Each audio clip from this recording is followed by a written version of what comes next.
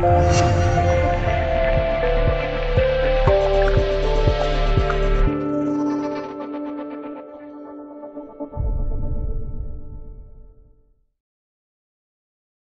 文章已经通过区块链技术进行版权认证，禁止任何形式的改编、转载、抄袭，违者追究法律责任。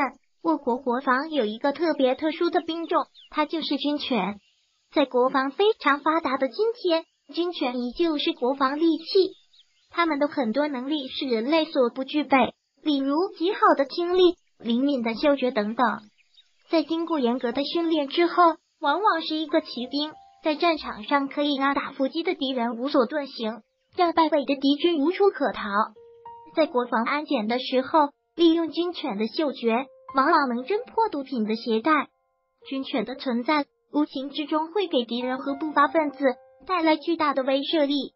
军犬的选拔也极为严格，首先是智商上，然后是体格上、学习能力等等，并不是所有犬类都可以成为军犬。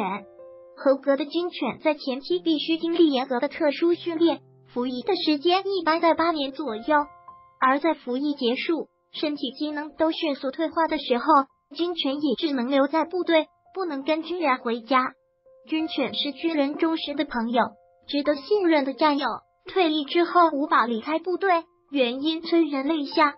退役的军犬留在部队，首先是出于对军犬的考虑，军犬的伙食标准是很高的。如果离开部队，跟随退伍军人回家，饮食方面没法保证。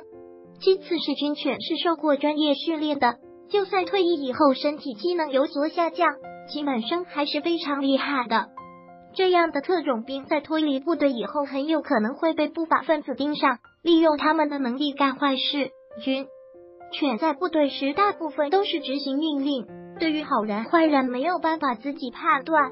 军犬在部队接受了特殊的训练，离开部队进入普通人的生活中，有时候可能会由于长期以来的是非训练攻击普通人。狗狗是人类最好的朋友，我们对于狗狗是有着很深的感情的。从本心出发，我们也希望军犬能够跟随退伍军人回家，毕竟军犬跟军人有着非常深的感情，非常忠心。被迫分离，军犬也会很伤心。